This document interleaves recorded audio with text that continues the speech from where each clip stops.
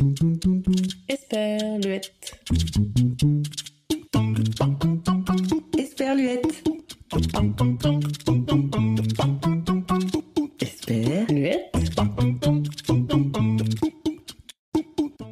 Bienvenue dans le premier En Vaucluse de la saison 3. Cette rubrique vous permet de découvrir une fois par mois un lieu, une entreprise ou une association basée dans le Vaucluse et qui mériterait, à mon avis, d'être plus connue.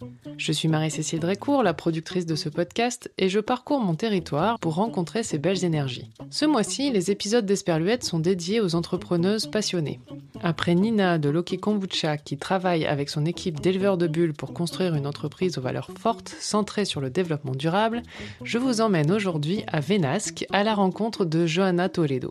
On va parler de vin cette fois, et Johanna, vous l'avez déjà entendu sur Esperluette si vous nous avez suivis pendant le confinement. Elle nous a fait découvrir ses domaines viticoles coup de cœur, ce qu'elle fait toute l'année dans des dégustations puisqu'elle a créé il y a un peu plus d'un an l'Alliance Rusée. Spécialisée des terroirs du Ventoux et du Luberon, elle partage sa passion avec simplicité et pédagogie pour vous permettre de découvrir le vin qui correspond à votre goût. Elle va vous expliquer tout ça ici. Bonne écoute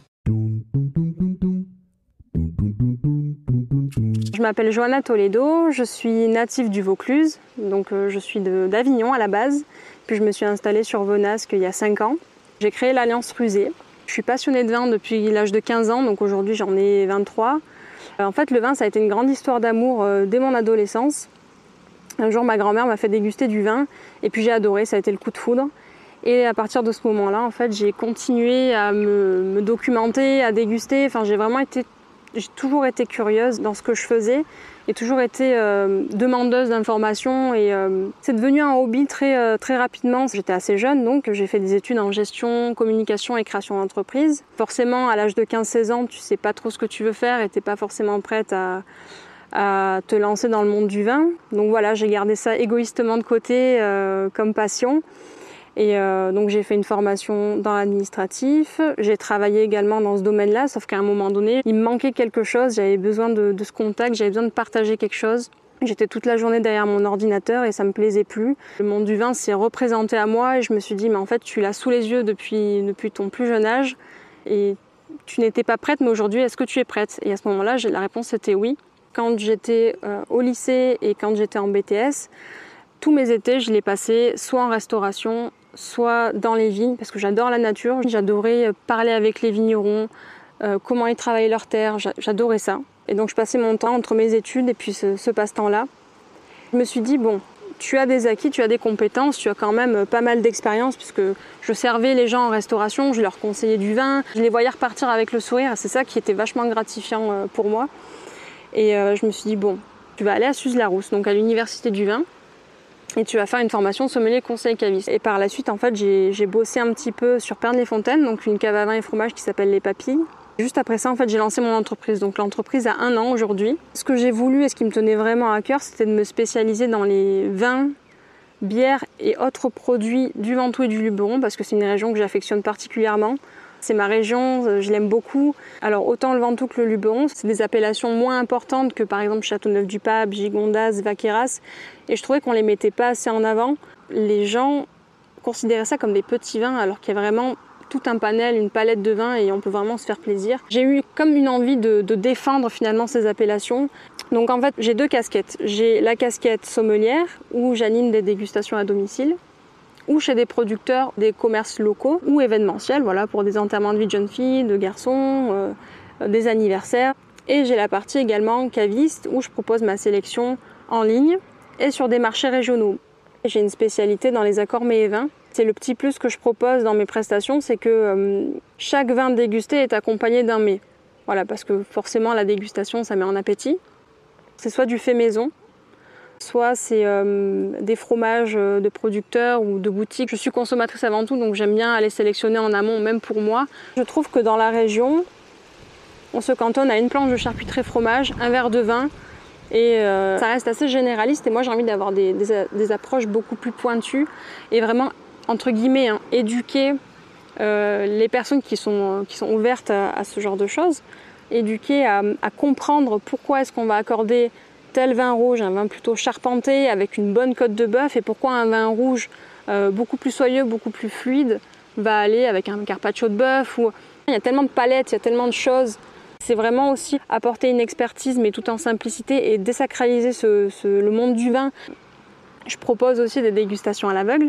Et les dégustations à l'aveugle, c'est ce qui déroute le plus les gens. Parce que nous, on voit avant de manger, on voit avant de sentir, on voit la chose, on sait déjà quel goût ça va avoir. Par contre, si on enlève ce premier sens, on est complètement euh, perdu, on ne sait plus où on va. Et, je trouve que c'est une expérience assez intéressante.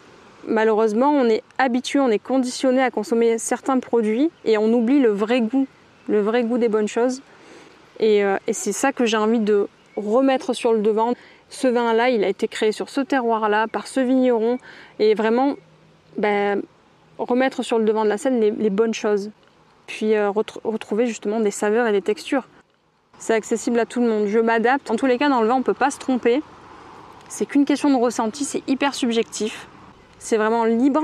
C'est montrer que le vin, finalement, c'est pas si, si, difficile que ça. Il faut juste laisser parler ses émotions et ses sens. Changer les idées reçues, surprendre. J'adore surprendre les gens et leur montrer que justement s'ils n'aiment pas tel vin, mais il faut pas rester cantonné à ce vin-là, à cette expérience-là. Il faut continuer à être curieux, à expérimenter et, avoir une ouverture d'esprit aussi. Même les locaux, ils connaissent quelques domaines. Enfin, je veux dire, c'est vraiment que les gens redécouvrent les appellations d'ici, les vins locaux, mais pas forcément des domaines qu'on connaît déjà. C'est vraiment apporter des pépites, revaloriser la région, autant les producteurs que les vignerons, que les restaurateurs, et euh, montrer qu'on a quand même une jolie région et qu'il y a quand même du potentiel et qu'on peut vraiment se régaler euh, pas très loin de chez nous. Quoi. Pour une animation, pour 10 personnes, accord mes et vins, dégustation de vin à l'aveugle, voilà, on fait avec quelques vins atypiques, voilà, un petit peu de surprise, on se laisse, euh, on se laisse tenter, on se laisse surprendre, on va dire 25 euros par personne. Pour les professionnels, c'est pareil, je, je, suis en partenariat avec des maisons d'hôtes, toujours dans cette optique de promotion du Vaucluse et de la région, où on va proposer justement des formules pour les entreprises, pour les séminaires et éventuellement voilà pour les restaurants euh, pour valoriser leur carte, valoriser leur cuisine. Je propose euh, des formules à cormets et vin. Donc ça commence à partir de 75 euros pour un menu. Après tout dépend de la complexité du menu forcément. Pour me contacter, c'est très simple. Pour ceux qui sont euh, réseaux sociaux, qui sont la génération 2.0, je suis assez active sur Instagram, donc m'envoyer un message sur Instagram ou sur Facebook. C'est l'Alliance Rusée. Par mail, c'est contact@l'alliancerusée.com.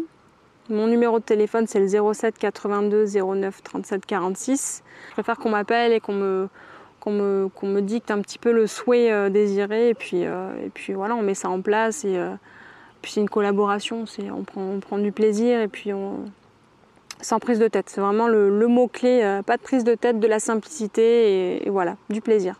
Côté épicurien qui ressort. Je pense que le lâcher prise est pas mal en dégustation. C'est vraiment très important de, laisser parler ses sens, de pas réfléchir. C'est assez compliqué parce qu'on réfléchit, on vieillit à 200 à l'heure tout le temps. C'est un moment, c'est un instant, c'est une sensation, c'est une émotion. Les vins que j'estime coup de cœur, c'est pas forcément des vins prestigieux. Quand il y a des vins qui me touchent au plus profond de moi, c'est que ça éveille un souvenir en moi, une odeur, une sensation, une texture qui va faire que ça va me rappeler peut-être l'enfance, que ça va me rappeler une, période de ma vie agréable ou pas d'ailleurs. Ça va peut-être être le côté nostalgique ou le côté euh, voilà un petit peu plus maussade. Mais dans tous les cas, le vin, ça, ça inspire une émotion. Il faut lâcher prise et se laisser aller à la dégustation.